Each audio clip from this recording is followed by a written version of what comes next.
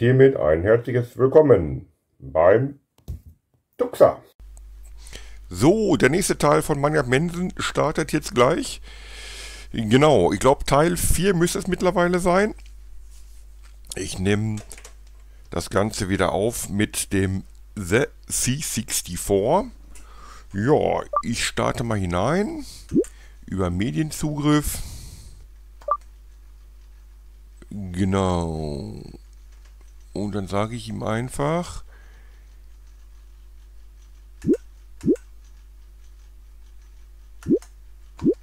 Top-Spiele, meine Mensen Easy, Card Bridge, ohne Turbolader, muss ich wieder aufpassen.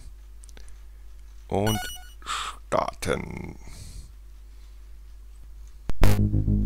Ja, und dann wäre schon da. Also da brauchen wir wirklich keinen Turbolader. Das geht ja ruckzuck. Ich habe einen Savepoint gesetzt, beziehungsweise mittlerweile mehrere. Und 129,5 Minuten bin ich schon am Spielen.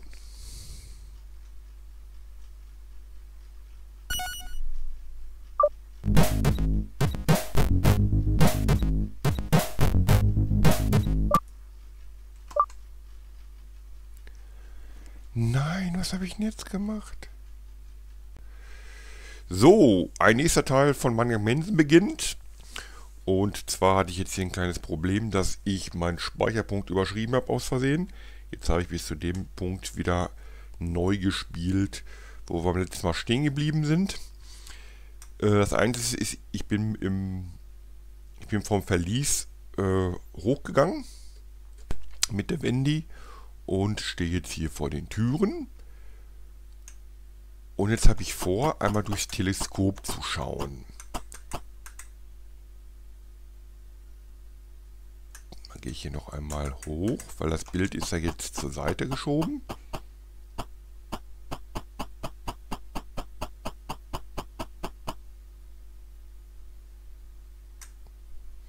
Ja, und dann gehe ich jetzt hier hin und schaue hier einmal durch.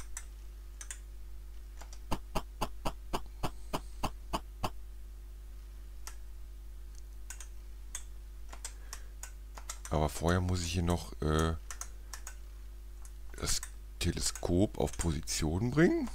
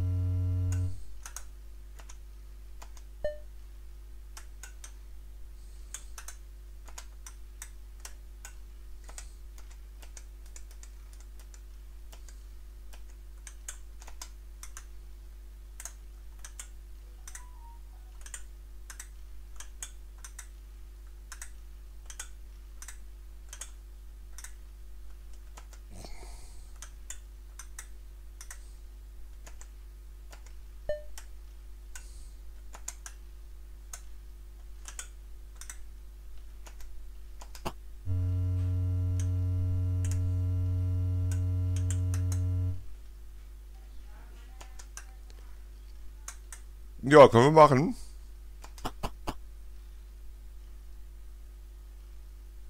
Und jetzt müsst ihr... Müsst, ja, jetzt habe ich den Code 1230. Den schreibe ich mir mal sofort auf. Mal eben einen Zettel holen. Damit er nicht verloren geht. 1230.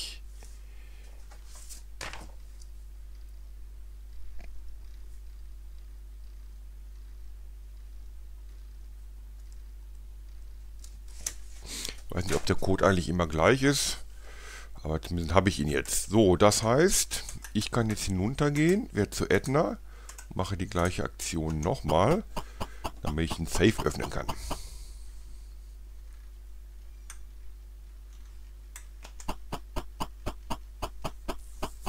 Ja, dann muss ich Wendy wieder verhaften lassen und dann kann ich ganz gemütlich dort hochgehen. Ja, das wäre jetzt so mein nächster Plan.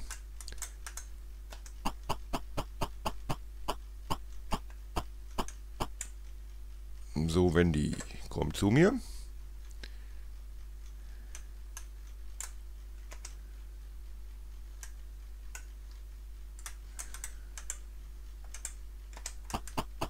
Ich sage ihm, öffne Tür. Ja, und hinein ins Vergnügen. Eine Runde verhaften lassen. Thema erledigt. Kann man ja nicht irgendwie etwas machen. Nee. Die ist einfach zu schnell, die gute Dame. Sei froh, dass du kein Junge bist. Nun hättest du jetzt große Probleme. Ja, das wissen wir doch. So, schnell umswitchen mit F1 und hinein. Vielleicht kann man hier das Parfüm noch nehmen. Ne, geht nicht. Okay, ich gehe schnell nach oben. Ja, ja, ja, ist okay. Bevor die Dame wieder kommt. Ist das da oben Spiegel? Aha, interessant. Da, da, da ist sie schon.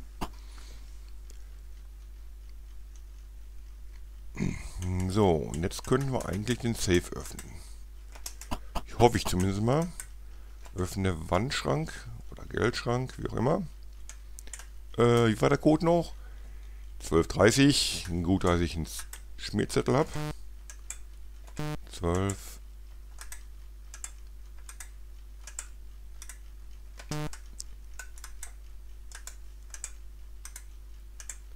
Na, 30. Und was haben wir da? Ich weiß ja gar nicht mehr. Verschlossener Umschlag. Ja, okay. Den nehmen wir mit. Würde ich sagen, gehen wir hinunter. Und lassen uns mal wieder verhaften.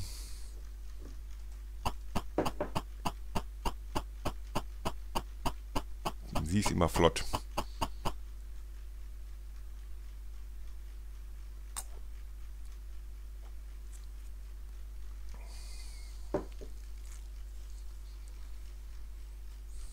Ich hätte dich ans Bett fesseln sollen. Ja, hättest du mal gemacht, du. Gut. Was machen wir mit einem verschlossenen Umschlag? Natürlich öffnen, ne? Wir sind ja neugierig. Da war einen geöffneten. Da war eine 25 Cent Münze im Umschlag. Ah, oder muss die 25 Cent Münze vielleicht an dem äh, Arcade-Automat benutzt werden. Das kann natürlich auch sein. Das hat beim letzten Mal nicht funktioniert. Da 25 Cent Münze. Das könnte ich vielleicht nochmal umprobieren. Und jetzt mache ich erstmal gebe. Weil ich hätte ja jetzt eine Idee, was ich machen könnte. Den geöffneten Umschlag an Wendy. Zack. Ich wechsle zu Wendy rüber.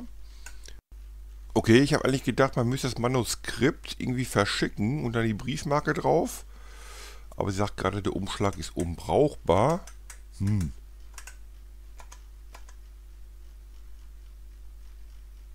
Ist ein unbeschriebener Umschlag. Okay. Was ist, wenn ich sage, benutze Briefmarke an Umschlag? Die klebt nicht. Okay, okay, okay. Ja gut, dann kümmere ich mich da später rum. Ich habe ja jetzt die 25 Cent Münze. Und deswegen würde ich sagen, ich erstmal zu diesem Arcade-Automat. Nein, du nicht. Du musst jetzt ausnahmsweise mal hier bleiben. Das macht wieder Dave, der Chef persönlich. Aber vorher muss die Tür einmal geöffnet werden. Über Razer. Weil sie hat nämlich den alten, rostigen Schlüssel.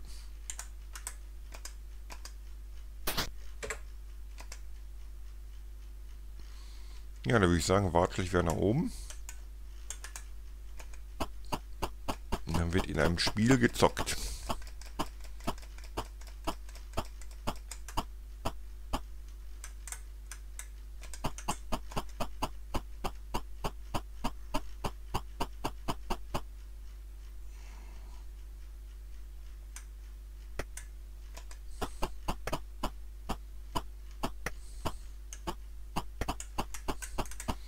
Also mal kurz überlegen. Rechts ist gleich der, der Musikraum. Links Kunstraum. So, was haben wir hier nochmal? Äh, weiß ich gar nicht, was hier war. Aber ich meine, der Spielautomat wäre hier. Ja, das sieht doch gut aus. Meteormess, wo bist du? Da wärst du. Ja, ich opfer mal die 25 Cent, würde ich sagen. Und guck mal, schau mal nach, was passiert.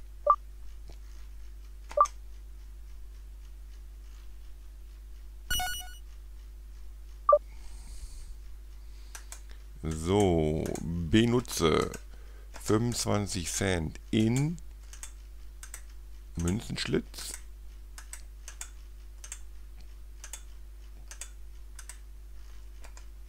Ja, Münze Münzenbehälter. Ja, jetzt geht's, jetzt geht's. Da war also der Fehler. Ich hätte also... Okay, okay, okay, okay. Ich mache einfach mal schnell einen Screenshot. Ich weiß, das ist gescheatet. Aber so bin ich halt. So, da wäre mein Screenshot. Meteor Score. So, was machen wir mit dem Code? Ich hätte da eine nächste Idee. Eine nächste Idee. Ich switche jetzt rüber zu Razer und die gibt einfach mal die Codes ein.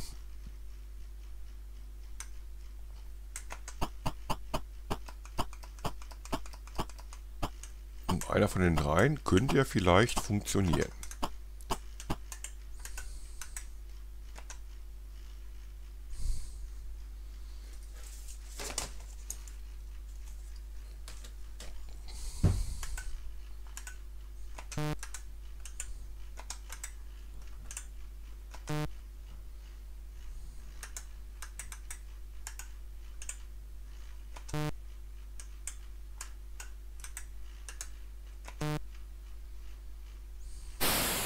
Oh, der erste sofort. Okay. Ich überlege gerade, soll ich schon mal reingehen? Oh, einfach mal testen, ne? Was passiert? Ich weiß das gar nicht mehr. Ich meine, im ersten Raum kann man sich noch recht frei bewegen. Oder kommt nicht das Tentakel an? Hm, ich hab dich erwischt, Schnüffler. Oder genau, ich muss jetzt für ein, ein, ein Alarm auslösen. Szene, okay. Edna, ich habe Probleme mit dem Zoom-Bematik. Ich muss meinen Strom abschalten. Oh, perfekt. Es wird etwa 5 bis 6 Minuten fehlen. Fehlen?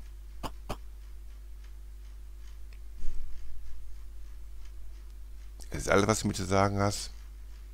Du bist seit fünf Jahren ewig da unten im Keller und ich sehe dich nie. Manchmal denke ich, du liebst den Meteor mehr als mich. Beruhig dich, meine kleine Prinzessin.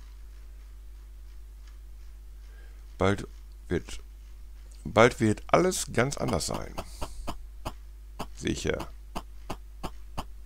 Ja, eine perfekte Ehe, würde ich sagen.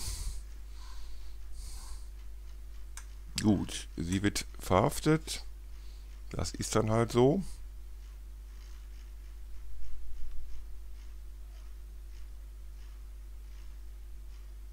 Oh oh. Oh nu?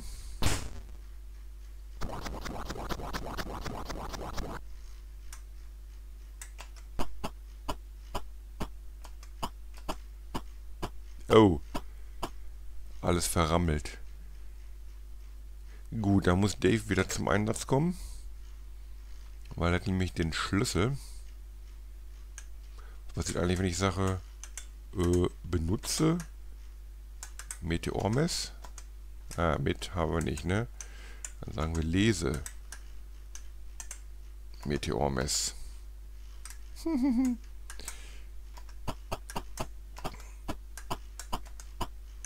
Gut, dann lass uns mal eine Runde verhaften.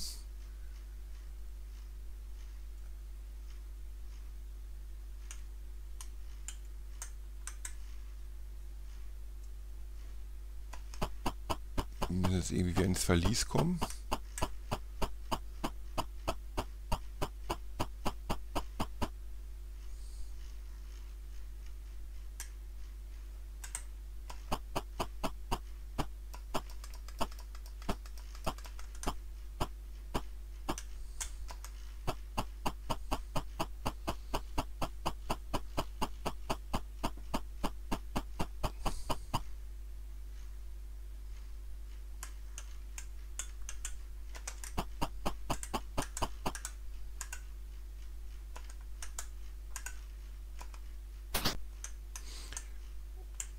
Ich überlege gerade, ob ich dem Kollegen den Hamster wiedergeben soll.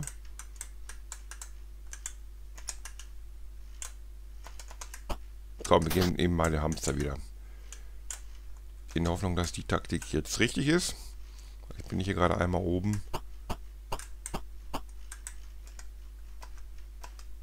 Wo haben wir den Hamster? Gebe Hamster an Ed. Oh, mein armer kleiner Hamster. Ich danke dir so sehr. Hoffentlich kommt mein Paket bald. Ja, ist die Frage, sollen wir ihm das Paket auch geben? Außer, dass er mich jetzt hier nicht rausschmeißt. Und er möchte ja das Paket haben. Das ist die gute Frage. Soll ich ihm das Paket geben? Ich meine, der hilft einem dann. Das Paket hätte ich da. Ich könnte hier mal eben Öffne Paket machen, wenn ich das nicht schon getan habe. Weiß ich nicht. Das wäre illegal. okay, komm. Ich glaube, viel mehr kann ich mit dem auch nicht machen. Eindringling halt. Ach so. Aber wir waren doch gerade beste Freunde. Okay, okay, dann gebe ich dir jetzt auch das Paket. Oh, mein Kommandopaket. Nun musst du meine Pläne finden. Ich habe sie irgendwo verloren. Siehst du der böse Meteor? Hat mein Vater wahnsinnig gemacht. Ich muss in sein Labor und ihn retten. Ich brauche mein Kommandopaket und die Pläne. Pläne? Ja, ja Pläne. Aber die habe ich verloren. Okay. Komm zurück, wenn du alles hast. Ja, krieg ich hin. Hallo, mein dieser kleine Hamster. Oh, ja. Gut, ähm, dann haben wir jetzt einen neuen Auftrag. Pläne finden. Ich habe jetzt keine Ahnung, wo und wie. Ich switch nochmal eben kurz rüber ins Verlies äh, und schaue mal, ob die Türen schon offen sind. Äh, sind noch nicht. Gut, dann öffnen die eben. Irgendeiner muss doch jetzt hier den Schlüssel... Ah, der Zeck hat die Schlüssel. Äh, das könnte ich jetzt als nächstes machen. Ich könnte jetzt unten reingehen. So, jetzt ist auf einmal das Licht ausgegangen. Okay. Ich mache mal eben die Taschenlampe ein.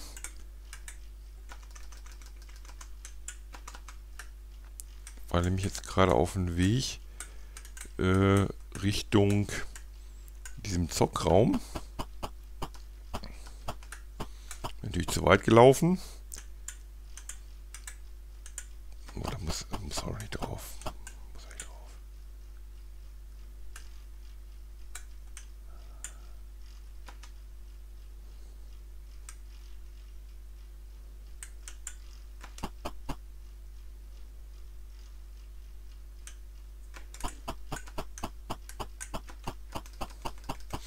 Brauch nicht drauf, brauch nicht drauf, brauch nicht drauf. Brauch nicht drauf, brauch nicht drauf, brauch nicht drauf.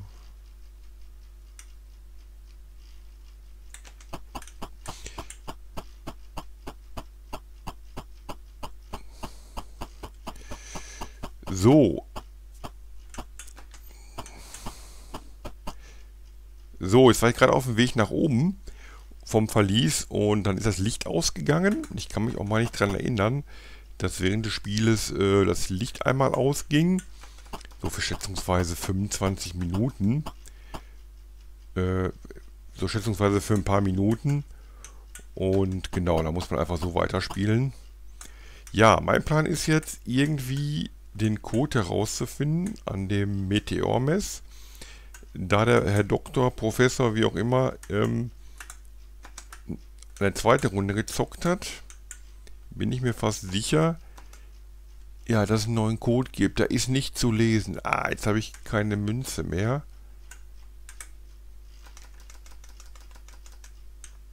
Ist ich probiere trotzdem mal die 10, 10 Cent Münze. Benutze 10 Cent Münze in Münzbehälter. Na, geht natürlich nicht. Wie komme ich an den neuen Code ran? Äh ich habe doch diesen kleinen Schlüssel, ne? Habe ich den? Ich probiere es einfach mal aus.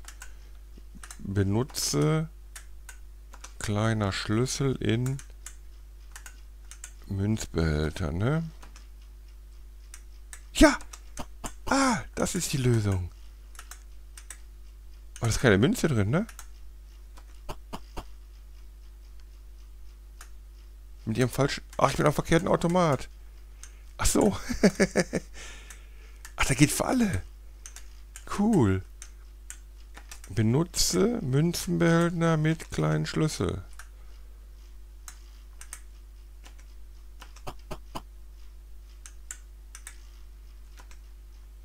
Nimm. Puh, da habe ich die Münze wieder. Benutze 25. Nein, 25. Ne, das geht nicht. Benutze 25 Cent in Meteormess. Ach, ist nicht eigentlich. Jetzt muss ich warten, bis, bis, der Strom, bis der Strom wieder läuft. Obwohl der Bildschirm ist doch an. Tihi. Ah, Strom ist wieder an.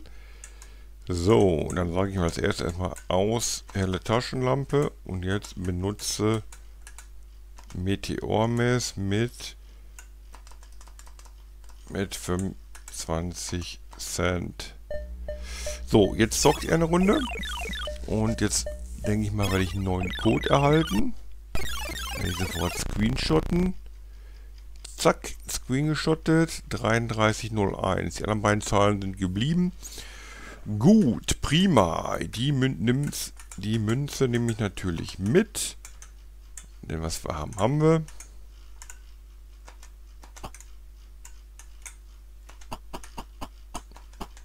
Und jetzt könnte ich eigentlich auch ins Verlies gehen. Ich überlege mal eben.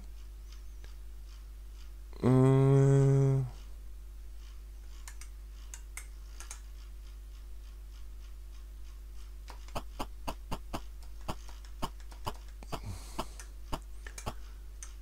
Genau.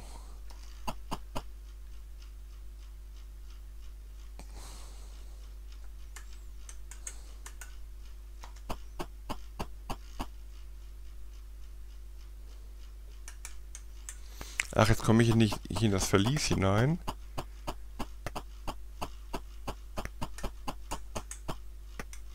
Na gut, dann muss die Rasor mal nach eben, nach oben. Eraser. Ich steht doch mal nicht hier unten, ne? Ja, Tür ist offen, passt. Dann geht mal schön nach oben.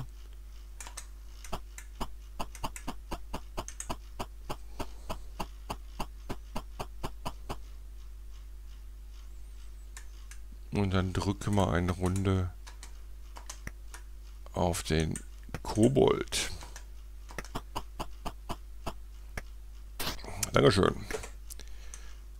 Und jetzt kann Dave hinunter. Und geht ausnahmsweise mal freiwillig auf direkten Wege ins Verlies.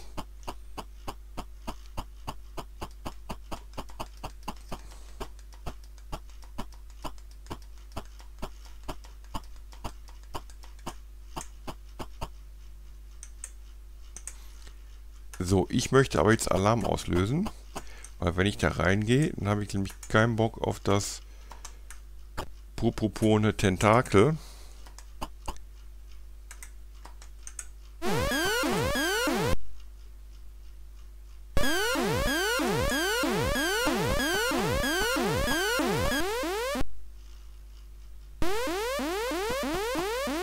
Nicht schon wieder. Wie werde ich hier die Welt beherrschen? Wenn stets solche Dinge passieren.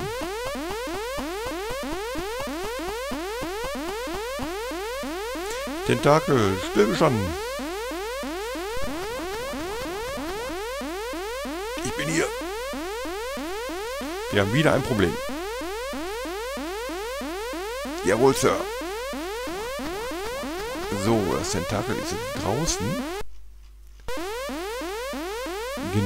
Jetzt gehe ich hinein.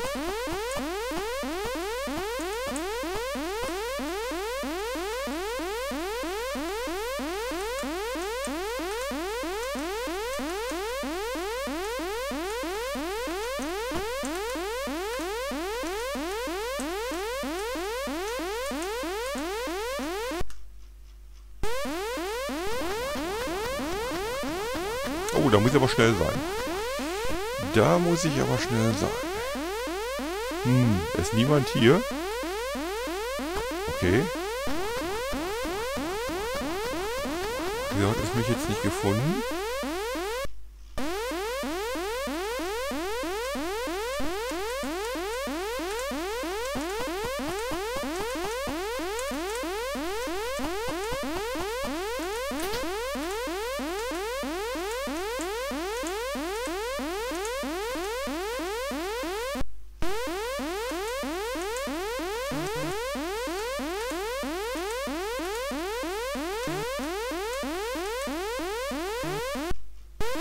So, der Code war schon mal richtig. Ja, der Code war richtig. Jetzt gehe ich schnell hinein. Und das Tentakel müsste ja eigentlich jetzt weg sein. Hä? Gibt's da zwei von? Oder ist es wieder zurück? Oh. Wie soll ich das denn jetzt schaffen? Oder können wir das irgendwie, irgendwie bestechen? Hab ich das, kann ich jetzt auch bestechen? Wie war das nochmal? Wie war das nochmal? Gut, ich denke mal, ich mache an dieser Stelle wieder einen Schnitt. Und dann sehen wir uns im nächsten Teil wieder.